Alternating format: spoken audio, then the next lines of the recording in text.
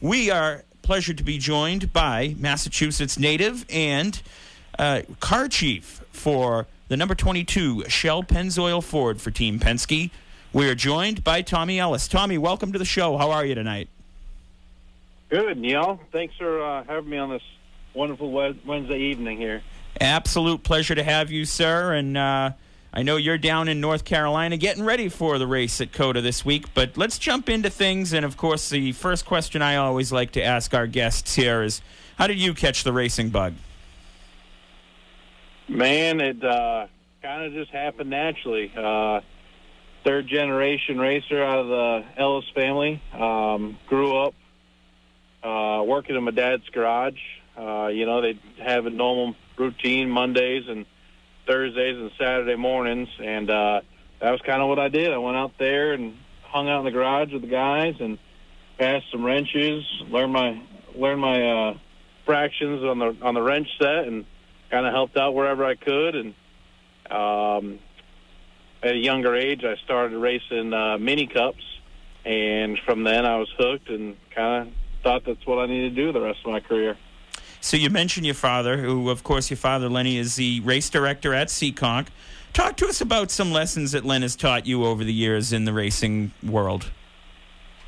Oh man, lots of them. Uh, the main one is, uh, you know, garages and uh, the races are won in the garage. Um, you know, that's that's true all the way up through the Cup Series. You know, everything you have uh, for preparation just makes you better on race day and you know that could be at Seekonk Speedway or you know your your Xfinity, your Cup Series, whatever. You know, um, I mean, we practice making changes at the shop just to be faster at the racetrack, and the same can be for you know your Saturday night short track racers. Just you know, being prepared at the shop, making sure your stuff's right, your staggers right, your air pressure, your little things. You know, it's not not everybody kind of comes up and asks you, "Hey, how do I go faster?" And 99% of it is just your everyday routine maintenance on your car, making sure everything's right, crossing your T's, dotting your I's, that type of stuff. So you mentioned Seekonk uh, Speedway and uh, a place that obviously you grew up. What does that track mean to you? What does Seekonk Speedway mean to you, Tommy? Man, that's home. Uh, even when I come up and race Loudon I still try getting down there on Saturday night, as long as the weather looks good. Um, luckily, our garage closes pretty decent time on Saturdays now in the Cup Series, and uh, I don't mind taking the two-hour drive, stealing a rental car, and coming down there and watching a Saturday night. Um, every time I come home, uh, I pass it. I pass it on the way to see my house, so I kind of dip on in. Sometimes I'll talk David and meeting there and open up the gate and taking a lap around the track, just seeing what's different. You know, they've done a lot of upkeep over the over the past few years, you know, painting and and you know repaving, and it's just kind of cool to you don't see it every week. So when you do come home and you get to see it, you know, it just kind of keeps you in the loop of what's going on there. And I mean, I, I love it. You know, I, I watch a lot more than I think people know I follow it a lot on uh, social media. I look at pictures. Um, sometimes I'll call my friends and be like, "Hey, your car looks a little rolled over. You know, you might want to think about doing some of this." Like, I try paying attention, watching Friday night racing and Saturday night. You know, obviously it's busy, but I do like to stay involved and and you know keep in the loop with my my home track. So, so talking about you know your job now down there with Penske, and how important is the line of communications? Because it's it's not like local racing where it's just you and your dad racing a car, or maybe one other guy. You got a whole team you have to organize, and how important is communication to all of that? So we do a lot on the computer in checklists and and setup lists, and you know, so you're building these cars month in advance. And by the time it gets to us, the team, the actual guys that go on the road, my guys, um, it's pretty much done and set up. And um, from there, it's like my responsibility to kind of walk around it, um, make sure everything in there is the right. You know, these these cars are designed um, where everything is a component, right? So you're not really checking to make sure that's a 10 and three quarter inch upper A frame, right? Like you have what NASCAR allows you to have, but there's still different block shims and um, A frame positions and stuff like that. And I have a checklist that I walk around every week and kind of check the suspension, and then um, I have an aero checklist, and you know, so like we'll get all that our first day, and then from there we'll do what we call a Hawkeye and that's NASCAR's version of tech. So our shop has a Hawkeye. We'll roll it on in there, and all these lasers come down and check to see where the body is. Now we're allowed a hundred thousandths on the body, so it can be a hundred thousandths up or a hundred thousandths down, but that's our box. And the same for the underbodies, a hundred thousandths box. So really, our tolerances are pretty tight, and we make sure that we can pass tech. And that's our main goal the first day. And then the second day is kind of more of a final scale, fluff and buff. We check all of our cambers, our weights, get shocks and springs on the car, and uh, send it through again. And uh, again, just double check the body, the floor. Um, they have a deal that while you're in the Hawkeye, you put these wheel plates on and it makes sure that you're not over any NASCAR's tolerance as far as tread width and camber and wheel offsets and different things like that. So everything's done in this one machine, and it pretty much scans it, and that lets you know if you're going to pass or not pass on race day. So let's take a quick step back for the listeners who are kind of learning, might not know too much about the sport, and maybe even your job, okay. obviously, as the car chief talk to us take us through a week at you know at the shop for you obviously coming back from a race weekend where you were in bristol this past week and getting set for COTA. what's uh what's a monday through friday look like so my job and the team's guys uh when we get back from the race we don't live in the past we don't worry about anything that happened in bristol other than the stuff we used right like we restock the toolboxes and and chemicals and get stuff off the trailer and you know clean up the stuff that we use. But what happened in the past is done. So like when we when we walk walk out of Bristol, we're done with that car, and that car circulates back about six weeks is what it takes to come back to us. Um, so we already start focusing on the next week. So this week it was COTA, a little bit different road course. Um, you know, you got a few different things to worry about. But our job is mainly to check the car. Uh, what we do, a call the nut and bolt to a certain extent. Um, with these new cars, they're kind of tough. Like you kind of build them, and like there's not a whole lot of taking them apart to check things. So you got to really trust the guys in the shop that they did their job. Um, but at the end of the day, it's also on you. So it's your comfort level of how much do you trust where the car's at. Um, for me, I have my several checklists, and you know, I got paper versions, computer versions, and then you know, you kind of get a different um, feel on what the event is. You know, it's a road course. All right, we need to worry about these different things. Brake cooling's a big, big factor. Um, you know, brakes. So you really kind of focus in on a lot of that stuff. Um, you know, aero list is more along the lines of just you know making sure it's going to pass NASCAR's tolerances, and and you know it's it's a it's a right and a left track, you know, so it's a little bit different than your normal stuff.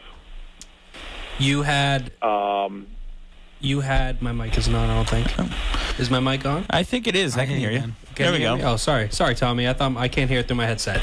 Uh, when you you had a lot of experience going through the trucks and Xfinity before Cup. Uh, tell us how those experiences and what you've learned throughout your years to get you where you to where you are now. Man, I I love Truck Series, and and pretty much anybody that knows me will tell you that I love the Truck Series. That's where I come up. I I uh, raced most of my career in the Truck Series. Um, it's a different breed, you know. They everybody kind of looks at that and like, oh man, they run 28 races. You know, it's a lot less than the Cup Series. Um, they run on Friday nights or Wednesdays. They got it pretty easy. That is 100% false. Um, those guys work probably harder than most of us Cup guys as far as time at the shop. Um, you know, you run a Friday night, you come back to the shop on a Saturday or Sunday, and you're working. Um, so yeah, like the Cup Series, we're gone a lot on the weekends, but our vehicles are given to us in a really good condition. Where the truck guys, you bring all your guys with you. You have maybe one or two that stay back, but you're really working to build that car compared to where I get it in a lot more complete stage now. So, talk to us a little bit about your relationship on, on a race weekend with your driver, who, of course, uh, is a two time champion, Joey Logano, from New England as well. Talk to us a little bit about that relationship working with Joey uh, every week. He's one of the best. Um, you know, I wish everybody could meet Joey and know Joey like his team does. You know, as far as like going out to dinner with us, wanting to hang out with us, be involved in our lives, know what's going on. He's he's one of the nicest humans out there. Now, I also love the fact that when he puts on the the helmet, he's driving 100% for his team. You know, every decision he makes on the racetrack is for the better of his team. So he may be a little aggressive to some people's likings, um, but at the end of the day, we try the hardest for him, and he's trying the hardest for us. So you know when he puts that helmet on, you know he's going out there to race for his 22 crew, and he and he truly does believe that. You know he's got a sticker on his car. He's the only one at Team Penske that on the left rear quarter panel on the taillight it says 22 crew and he truly believes that we are a team that we do things together and we're crew you know? So that's on and off the racetrack. Um you know it's funny to go over his house and see his kids you know hanging off his you know shoulders and you know eating spaghetti and you know it's just they're just a normal family. And he, I wish everybody could see that side of him but I also like the fact that he's pretty aggressive on the racetrack, which may or may not be a fan favorite at all times. Talk to us a little bit about your race weekend and what you do day in and day out. Saturday, whether it be starting Friday, Saturday, depending on how many how many days in the weekend it is for on track activity. Our our weekend since COVID uh, has really changed. You know, so now we just have uh, usually a tech day sometimes a tech and practice and qualify day. But everything we do is impounded unless NASCAR gives us an extended amount of time. So when we come off the hauler, we really have to be ready to hit the racetrack. So we'll go through a tech process, which is on a tech ride height strut um, that NASCAR is deemed. So it's three and a half inches off the ground. And all the cars go through there on these struts and we go through a check, and then when we're good and we pass, we'll go back to our stall. They'll do a thing called deblocking, and we'll put shocks and springs on that NASCAR has also inspected. And then that's pretty much it. We sit there. Um, when an official comes on up, we'll roll to the grid. We'll do our 15, 20 minutes of practice. We're allowed X amount of adjustments, which is really um, rounds on your coilovers, just like your late models and pro stocks would have. Um, sway bar adjustments, which is a little bit different than like your normal late model or pro stock at Seekonk Speedway. And then um, we're also allowed shock clicks, so we have four-way adjustable shocks. And those are really our adjustments that we can do and tune in on the car. So we'll change heights, um, wedge, bar blade, and that's that's pretty much what we're locked into and then uh, we'll line them up, qualify, and then uh, it's they're impounded again. So race day mornings, pretty much uh, come on in, heat them up because we have to heat our oil to uh, to fire these things. It's it's a little different. They uh, the blocks and all the engines likes to get heat in them, um, so we'll heat them up.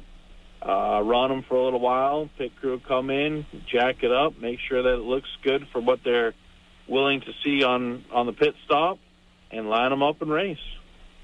So I'll um I'll throw just one opinion on something you said, and then I have a question for you. But uh, you were talking right. about you were talking about how Joey is a team player, in um, in how he does everything for his team. I just want to add in, um, and I never saw this in him before. Is just how tough he is. He is tough, you know, just tenacious, really. Um, and that, that's just my opinion. So I mean, I mean, it shows in the whole team effort. The um, the question I got for you is with the new Ford car. Uh, how do you guys feel about that? Like, how do you how do you think it's going to come in toward the end of the year? And I mean, I know you guys are just feeling it out, but it looks pretty racy to us. I'm kind of hoping it shows really good coming up. Absolutely. Um, and I just want to start off with how cool I think it looks. You know, like, and that's in all the series. Like, like the first time I actually got to see it was one of those um, G G uh, T three. I don't really know road racing, but it was a it was a 24 hour car, and it just looks incredible. And then I got all of them. I, we got ours, and you know they have um, a bunch of different stuff with this body on it, and all of the cars just look super cool. Um, but as far as performance, yeah, I mean, I, I think we definitely took a step in the right direction. Um, and as with anything new, I mean, you you know there, there's learning curves. Uh, everything kind of reacts a little bit different, especially when your tolerances are so tight. So you know, right now I feel like you know I, I feel like it's a definitely a positive step. I mean, we've been to super speedways, been fast. We were at the Clash, we were fast. Um, you know, looking forward to our first road course this weekend to see what it can do. But um, definitely, I would expect you know every week getting stronger and stronger with just knowing what the car needs compared to what the driver's feel is. Tommy, how much does a rain delay set back a race team, or is there no setback and it's just business as usual just a day later? So it depends if we bring people. Um, you know, Daytona, for example, was raced on Monday, which would normally not be an issue, but as far as going up to California and we had extra people, or uh, sorry, coming back from California, and well, that one was race would have been a rain delay. That would have been really bad. Um, when we have our extra guy that's away from the shop, it's a little bit tougher. You know, um, anything West Coast is really tough. But as far as like a, a normal race weekend, it's not as much of a hassle as it is just to get it all in. You know, you're out of your routine. Um, sometimes you think you're running at night. Next thing you're running during the day. Um, you've practiced at a different hour than you were expecting. Um, even even hotel wise, right? Like your pit crew gets flown down. You you rain out. You weren't planning on those guys staying. So now you know finding you know 45 rooms for different you know organization. Every organization is looking to put those people in a hotel that wasn't staying that night. It gets a little bit tougher, and you start traveling. You know hour and a half to the track to get you know different accommodations. Um, you know, I know this is going to sound crazy, but your your um, health, you know, your, your the amount of sleep you get, uh, the food you're able to intake. You know, our pit crew guys are are incredible athletes, and you know, you get them out of a routine or, or you know a little bit lower on their normal energy level that they have, and it, and it affects those guys too. So I would say that more affects anything. Um, and then delays during the day are just long. You know, like if you were planning on racing at 3:30 in the afternoon, and next thing you know, it's 10 o'clock at night. You've had a long day of just doing nothing, not being in emotion, and it's actually tougher on you at that point in time to get back going. You know. So I'm sure there's a lot of the kids who watch you on you know where your journey is led who race at Seekonk. Uh, final question I have for you tonight for the kids who might be listening down at Seekonk. What do you want to say to them to continue to inspire them and keep their dream alive?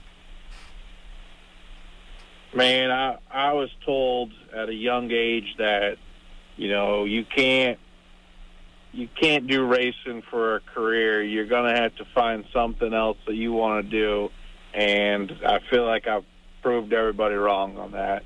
Um, and it's not for everybody. Um, but I, I'm just going to go ahead and say, you know, there's a lot of opportunities out there, and um, you know, you got to be passionate, but you also have to be willing to put in the work. Um, some of these drivers that I've seen come along the way have amazing talent, but if they're not w- willing to put in the extra work, whether it's behind the simulator, uh, learning pit road, studying SMT.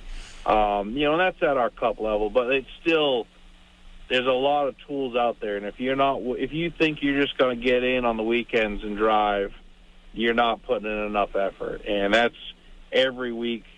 Our cup drivers are in here two days a week, studying, working out, doing different things, and that's all to help them on the weekend. And you know, I think if you put in the effort, you definitely have a chance to make it.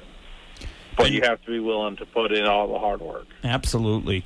Been joined here by car chief for the number 22 Shell Pennzoil Ford in the NASCAR Cup Series for Team Penske, Tommy Ellis, joining us. And uh, Tommy, absolute pleasure to have you.